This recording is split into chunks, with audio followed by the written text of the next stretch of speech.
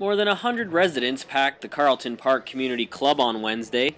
They came to hear an information session put on by the city about a proposed annexation of more than 330 acres of land south of Marquis Road. The city wants to use a portion of it for light industrial development. According to city manager Robert Cotterill, it's one of the last locations available to the city at a reasonable price. This made sense to us because we asked ourselves the question, where is the nearest servicing that we could do conventional design without having to put millions into servicing. As soon as you throw millions, then the cost of the land is so high that people will go other places. Okay? Residents, however, were not concerned with the growth of their city so much as keeping their neighborhood quiet and residential.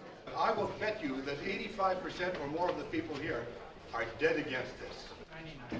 You're, you're saying two different things, and you're really changing our community. It's very upsetting.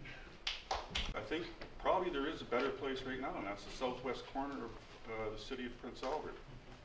It seems to me that if you gave more information to people that there are alternative places for this, based on costing, you'd have some understanding. But at the end of the day, I think people would still like to see this area remain residential.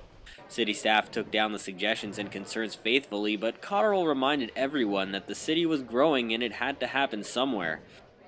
Like it or not, we are the hub, the, the gateway, and we are the drawing force for somewhere they say about 140,000 people. And 140,000 people want to come to this city to do its commerce. And so is that a good thing or a bad thing? I don't know. It's your community. I'm City plans on using the suggestions from the meeting for a report to council. It'll be up to them to decide what, if anything, to do with the land, but it won't go before council again until early next year. In Prince Albert, I'm Andrew D'Souza.